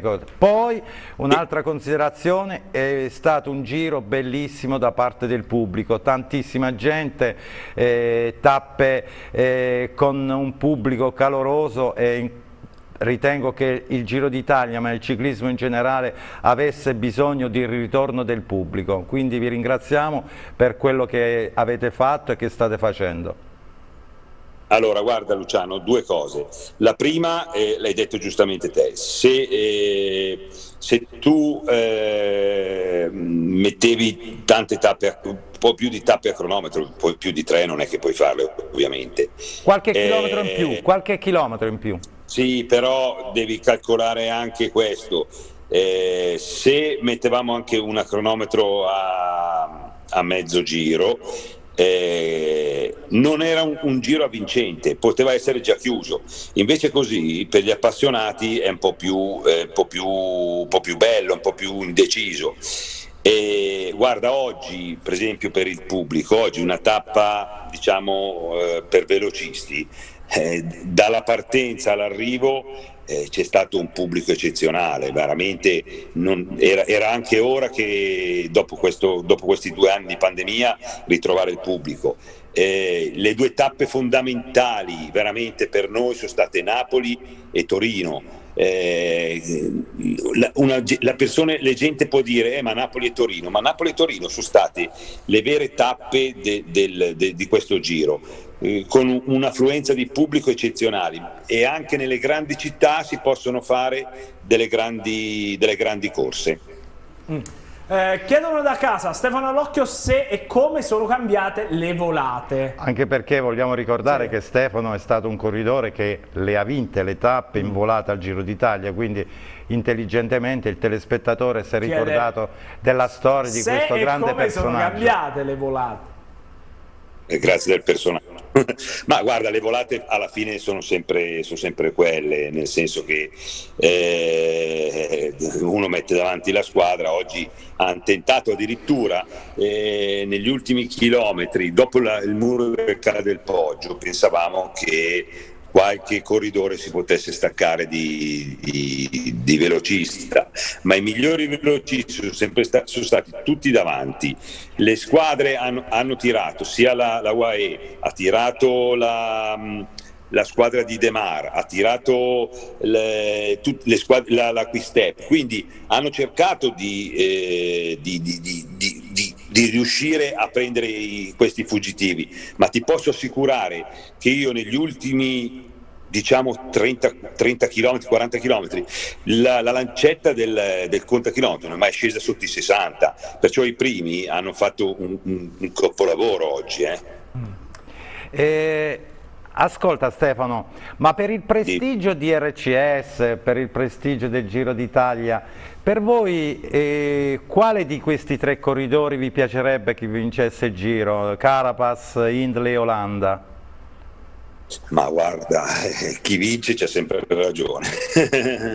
eh, per noi uno vale l'altro, quelli che mancano, eh, eh, per esempio, cioè, faccio un, non un esempio, ma chi si è ritirato per noi, cioè, guarda Vincenzo, Vincenzo all'inizio del giro, dopo, dopo, il, dopo la dopo la, la, quarta tappa su all'Etna sembrava, sembrava ormai eh, perso. Eh, guardi la classifica, Vincenzo è quarto. Quindi n- attenzione a, a, Vincenzo, è vero che ha un bel po' di minuti, però Vincenzo può, eh, è, un lottatore che fino alla fine può, può dare qualcosa ancora a questa, questa manifestazione. Stefano, eh, domani andrete in Slovenia. Eh, sì. an andate a trovare... Mai avremmo detto patria di ciclismo. sì. che... guarda, guarda, che l'anno scorso, scorso, abbiamo fatto eh, il circuito con eh, tre giri in Slovenia e ti posso assicurare che eh, eh si vede che in Slovenia c'erano delle restrizioni diverse dalle nostre. Sì, sì, C'era un pubblico che era una roba impressionante. Quest'anno io con, eh, con Rocco Lozzi, che è il, nostro referente per la Slovenia, eh, abbiamo, abbiamo, veramente un, un buon rapporto e sicuramente anche su, come vedi l'altimetria abbiamo pochi chilometri in Slovenia, però abbiamo anche quest'anno cercato di, di, mettere la Slovenia perché il folto pubblico che c'è stato l'anno scorso ci ha veramente entusiasmato e quindi abbiamo riproposto anche un tratto di Slovenia anche quest'anno. Andate in Slovenia per invitare Pogacar per il prossimo anno, Stefano? Eh, adesso, adesso pretendi un po' troppo. ok. Riccardo! Eh? Eh. no, se hai qualche curiosità. Ricky, Riccardo stai buono perché sennò ti stacco in salita. Eh. No, volevo sapere da Stefano chi sai domani ospite in macchina. Eh, il tuo amico non può venire purtroppo domani. E, allo- e allora un pirla.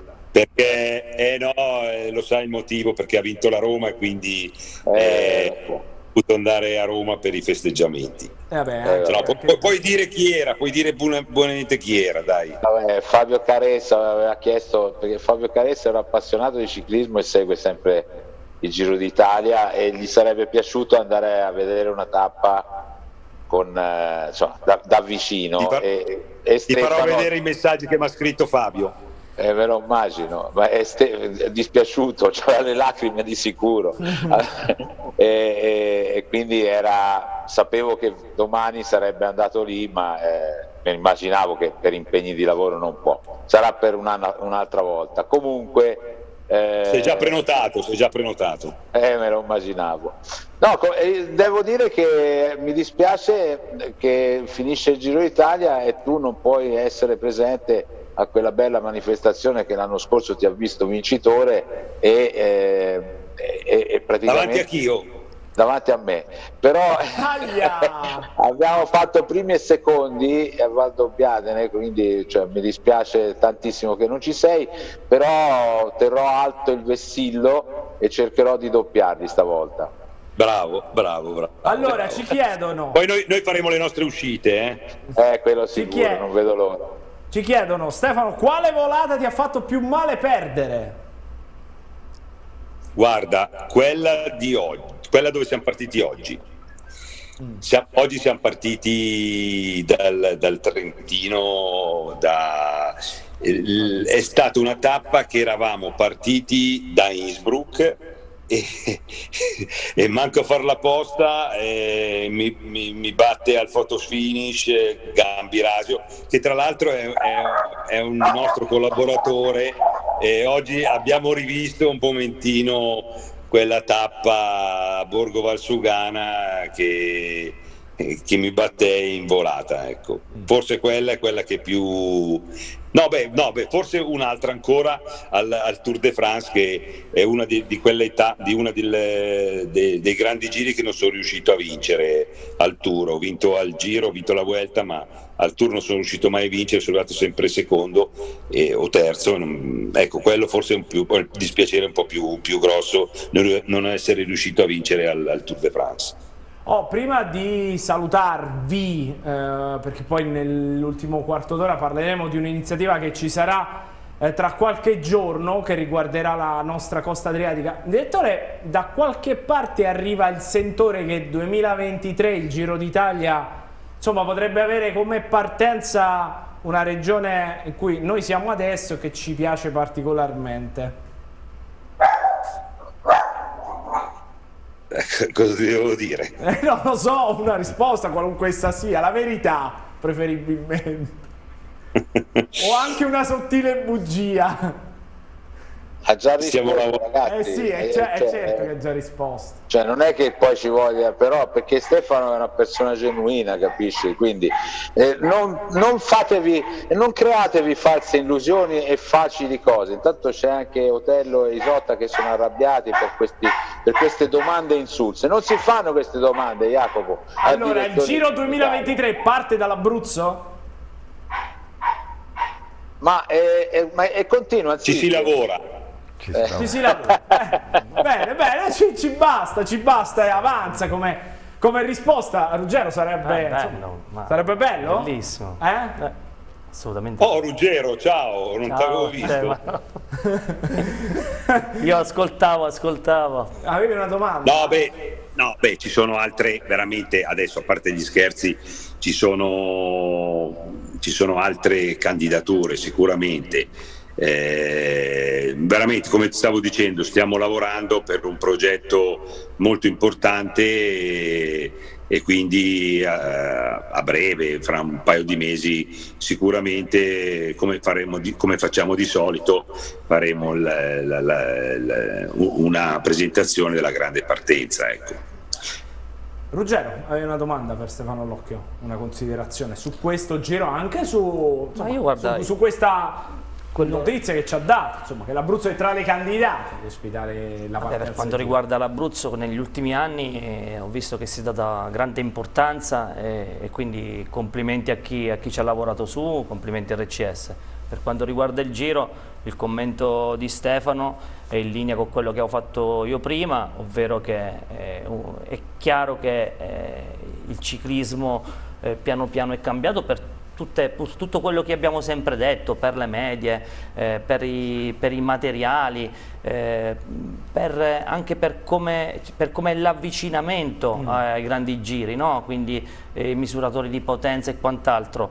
Però la, la, la verità è qual è? La verità è che siamo a tre giorni dalla fine, che abbiamo una classifica corta e c'è tanta incertezza e quindi questo è importante per, per, per, per i fini dello, dello, spettacolo perché non sappiamo e non immaginiamo chi possa vincere perché abbiamo tre corridori con tre profili diversi eh, che possono vincere, possono vincere il giro. Assolutamente.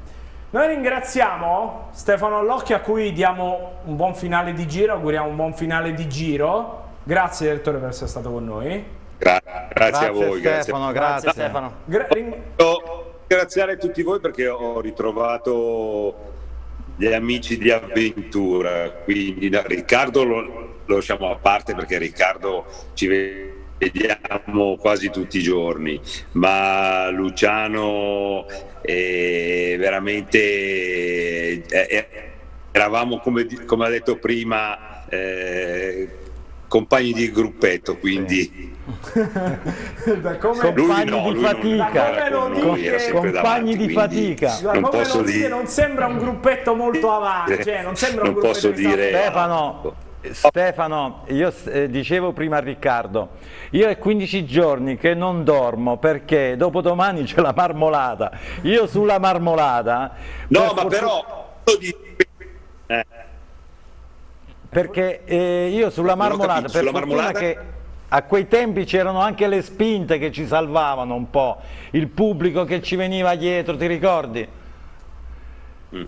Ma guarda, io ho avuto una, una brutta esperienza sulla marmolada. Eh, ero, ero, in squadra con Moser e un giorno ci disse eh, venite su, tra l'altro tu conosci bene Franco Vona sì. e Jurko Milan e fa dovete venire a casa mia che dobbiamo andare a fare, provare il percorso del giro. su. Abbiamo fatto 200 km di allenamento facendo Pordoi e Marmolada. Ti dico solo que- abbiamo fatto tanta di quella fatica in allenamento che poi in, eh, in, eh, in corsa, come hai detto te, per fortuna c'erano, c'erano i tifosi che ci spingevano su. Adesso Adesso è un po' più complicato, va bene. Grazie direttore per essere stato con Grazie. noi. Buon Grazie giro Riccardo. Uh, grazie anche a te, ti lasciamo Ciao. libero, di, così domani ti seguiamo pimpando. Sono fresco, fresco domani sono, così sono fresco. Esatto, noi aspetti, aspettiamo e ti aspettiamo ovviamente anche giovedì prossimo. Ciao Ruggero, ciao Luciano, ciao Jacopo, ciao, ciao, ciao, ciao a tutti, buona serata a tutti, buona serata a tutti, noi ci fermiamo per l'ultima volta questa sera, poi rientriamo per l'ultima parte di Velo.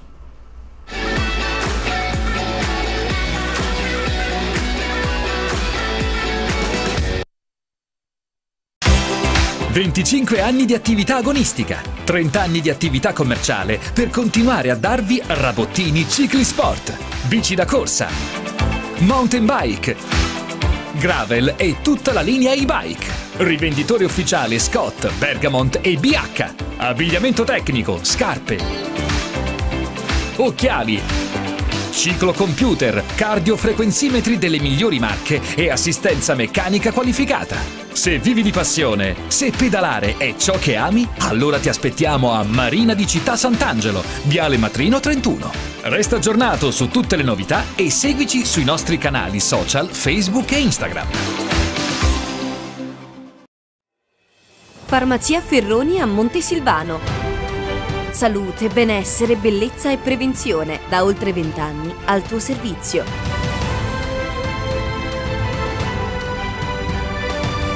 A Montesilvano, in via Vestina 187, www.farmaciaferroni.it.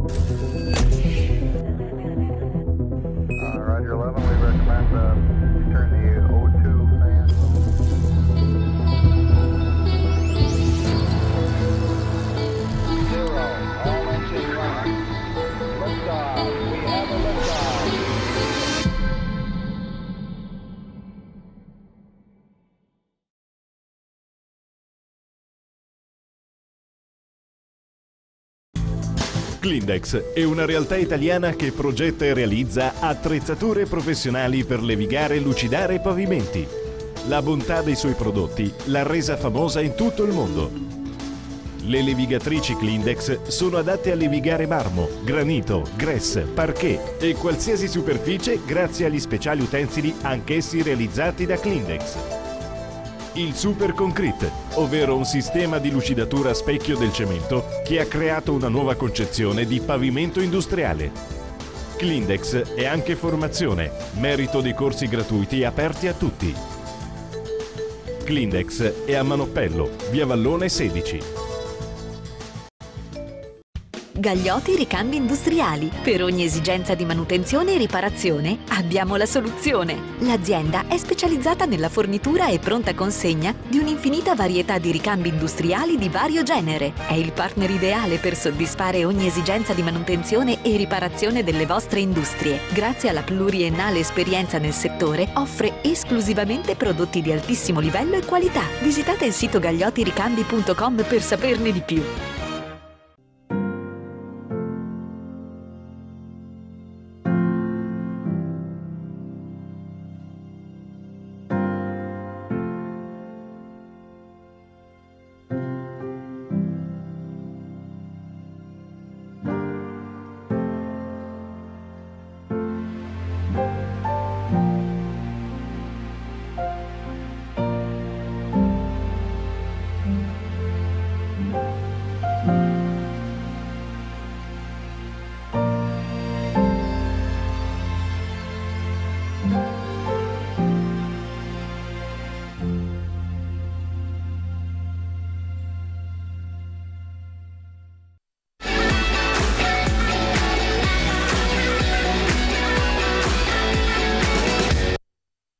Ultima parte di Velo per eh, questa sera, abbiamo salutato anche il nostro Ruggero Marzoli che tornerà a farci compagnia nelle prossime puntate. Diamo una buona serata a Filippo Catania. Ciao Filippo, ben ritrovato. Ciao, buonasera a tutti. Per parlare eh, della manifestazione che si svolgerà il 2 giugno, eh, la biciclettata e pattinata adriatica, peraltro giorno di festa, 2 giugno, festa della Repubblica, ecco qua eh, l'arrivo, non vi spaventate se l'arrivo vedete a Pineto che è tra Pescara e San Benedetto, perché in realtà saranno due, tra virgolette, due gruppi, partiranno uno da nord e uno da sud e lì si troveranno.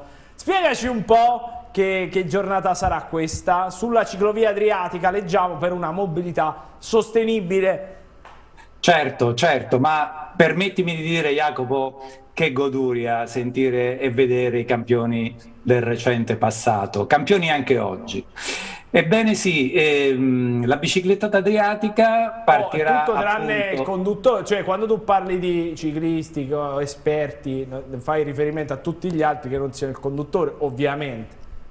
Ma guarda un po', vabbè, ma tu sì. sei un campione per un'altra cosa. Quindi okay. dicevamo che il giugno che il 2 giugno partirà l'undicesima edizione della biciclettata e pattinata adriatica che eh, avrà, come hai detto bene, due punti di partenza da San Benedetto e eh, a sud da Pescara per trovarsi a Pineto.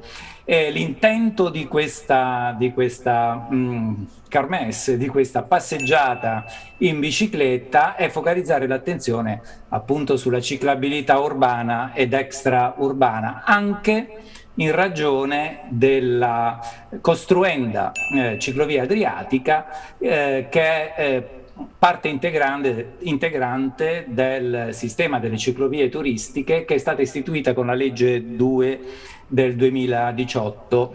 Eh, la legge si chiama Disposizioni per lo sviluppo della mobilità in bicicletta e la realizzazione della rete nazionale di percorribilità ciclistica. Quindi avremo questa dorsale eh, che mh, ovviamente attraverserà il nostro, il nostro territorio.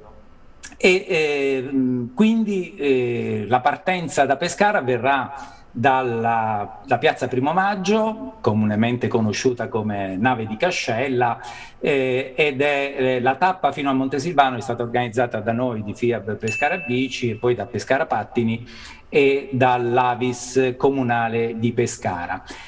Dicevo, la prima tappa sarà a Montesilvano, e proprio a Porto Allegro, dove eh, abbiamo eh, in programma di incontrare i sindaci eh, di eh, Montesilvano, di Silvi, di Città Sant'Angelo, eh, con i quali eh, vorremmo così parlare e da loro vorremmo conoscere eh, così, i programmi per l'apertura del ponte sul Piomba eh, che eh, proprio per la ciclovia adriatica è uno snodo importante eh, per tutta la mobilità ciclistica. Eh, speriamo che sia dedicato questo ponte alla, alla ciclopedonalità eh, perché mh, passare sulla nazionale per i ciclisti, ma anche per chi va a piedi, è davvero eh, impegnativo. Quindi eh, vedremo, vedremo, questo sarà un, un, un, un aspetto importante de, di questa prima tappa. Dopodiché arriveremo a Pineto, laddove ci sarà eh, una grande festa con i due eh, cortei che si incontreranno e eh, c'è il sindaco di Pineto che ci eh, saluterà. Eh, ovviamente poi ognuno potrà tornare come crede nei luoghi di partenza anche con il treno perché abbiamo allertato sia Tua che Trenitalia che ci potrebbe essere un notevole afflusso di persone con eh, la bici al seguito, di passeggeri con bici al seguito e sappiamo insomma che i treni eh, di, mh, mm, si stanno attrezzando per portare anche le bici. Certo. Oh, per partecipare, Filippo? Per partecipare basta essere lì entro le 10 eh, con una bicicletta eh, in buone condizioni, perché molto spesso ci capita di dover fare manutenzione prima della partenza. Se ci si pensasse un po' prima sarebbe meglio, sarebbe meglio così eh, gonfiare eh, le ruote, ehm, avere i freni a posto, la trasmissione a posto, dopodiché si può pedalare tranquilli e, soprattutto noi raccomandiamo l'uso del casco eh, che non serve mai, ma una volta si cade dalla bicicletta e quella volta magari il casco riesce no, no, assolutamente. a salvarci. Questo, questo, il casco al netto insomma di, di, di, che tipo di avvenimento si tratta, comunque indicazione, mettetelo sempre perché insomma al di là del fatto che possa o meno essere qualcosa di competitivo, però insomma eh, l'imprevisto è sempre dietro l'angolo e poi è buona norma anche da un punto di vista culturale sapere come quando vi salite in macchina e vi allacciate la cintura altrimenti suonano mille allarmi eh, così fate conto che suoni l'allarme anche quando non mettete non mettete il casco. Senti Filippo, rapidissimamente ti chiedo se queste tematiche relative alla mobilità sostenibile, un po' negli anni eh, c'è stato un riscontro maggiore, soprattutto per il fatto che l'utilizzo della bicicletta oggi probabilmente ha ampliato il range di utenti che ha capito probabilmente, non so se in ritardo o nei tempi giusti, il valore di, di una mobilità su due ruote e senza motore. Beh, ultimamente eh, dobbiamo paradossalmente ringraziare gli eventi veramente incresciosi e, e bruttissimi che ci sono capitati, eh, ma al di là di questo eh, va aumentando la coscienza non già per eh, l'uso della bicicletta, che pure è, è, è auspicabile, quanto per la tutela dell'ambiente. I cambiamenti climatici non sono più un'ipotesi, purtroppo, e per cui uno degli strumenti per combattere eh, l'inquinamento e per combattere eh, appunto i cambiamenti climatici, uno degli strumenti è proprio la bicicletta, perché la, la, la, oggi eh, eh, a Reggio Emilia eh, c'è stato un, un grosso convegno eh, di, di, tre giorni, Mobilitars, eh, nel quale l'argomento principale è stato eliminiamo o comunque diminuiamo il numero delle automobili circolanti, perché nelle, nelle città, nei centri urbani soprattutto sono il principale fattore di inquinamento ma vorrei aggiungere di, di insicurezza, perché davvero è, è, di oggi pomeriggio l'ennesimo incidente e mh, noi ci, oggi sentivo il telegiornale, abbiamo, 1200, abbiamo avuto 1200 morti nel 2021 mh, per, eh, sul posto di lavoro, ma dei 3400 morti per incidenti stradali all'anno se ne parla un po' o, o così passano molto, molto. E quindi questi sono problemi grossi, reali, che fanno sì che eh, scegliere un mezzo alternativo per muoversi è assolutamente necessario, oltretutto facciamo anche prima di arrivare in città, io che non ho l'automobile, che vado sempre in bicicletta, eh, sono eh, molto eh, così veloce nel raggiungere eh, i miei obiettivi, i posti dove devo andare e soprattutto non ho problemi di, di parcheggio di e risparmio un sacco di soldi, ve lo giuro.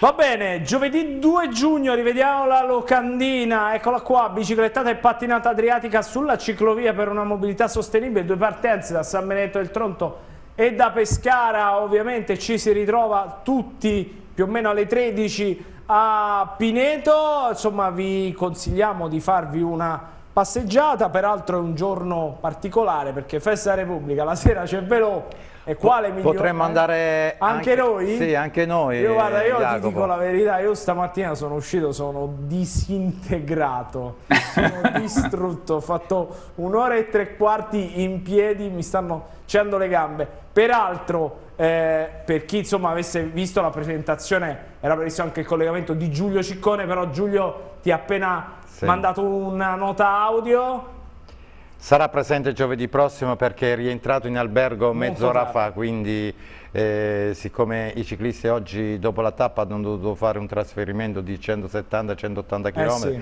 e tra l'altro anche sulle autostrade eh, c'era tantissimo traffico e sono arrivati adesso in albergo, quindi abbiamo un impegno per giovedì prossimo eh, con Giulio. Assolutamente, noi lo salutiamo, gli auguriamo un buon finale di giro, sperando magari chissà che in queste due tappe ci regali una soddisfazione. Tifiamo per Giulio. Tifiamo eh? per Giulio. Assolutamente sì. Vediamo i prossimi appuntamenti, Maurizio, con l'ausilio della grafica. Eccoli qua. Eh, 29 maggio, Blockhouse Marathon che abbiamo presentato settimana scorsa a Pacentro, poi BDV Enduro Race a Bocca di Valle. Eh, eccolo qua, e sono questi? Poi c'è altro, Maurizio? Credo di no. No, poi il 2 giugno si, si passa già a settimana settimana successiva. Va bene, io ringrazio Filippo Catania, ciao Filippo. Grazie a voi, ciao. ciao Grazie buonasera. a te ovviamente. Grazie Luciano, ci vediamo giovedì prossimo, 2 giugno proprio. Sì. Ci vediamo giovedì prossimo e sicuramente giovedì Sapremo chi ha vinto chi ha vinto questa edizione del Giro d'Italia. Assolutamente, godetevelo fino alla fine, fino all'Arena di Verona, fino alla cronometro. Grazie a Maurizio da qui in regia, grazie a voi che ci avete seguito sul canale 13 del Digitale Terrestre dove torneremo tra una settimana, sempre alle 21. Buonanotte.